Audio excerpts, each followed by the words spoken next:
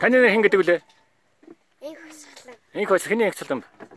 Их баясгалаа. Хэдий? Баян мөнхийн инх хойслон шүлэг уншин. Ямар шүлэг унших вэ?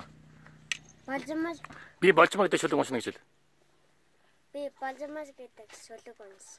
За унш гараа авчих. За. Болжмал болжмал хоолхонд боо талхан душтайда өвөл болохоор таашаагда өвшин дагуу шуурдагда жив жив дуутайда зитгэн хойхон болжмал да. Баярлалаа танд.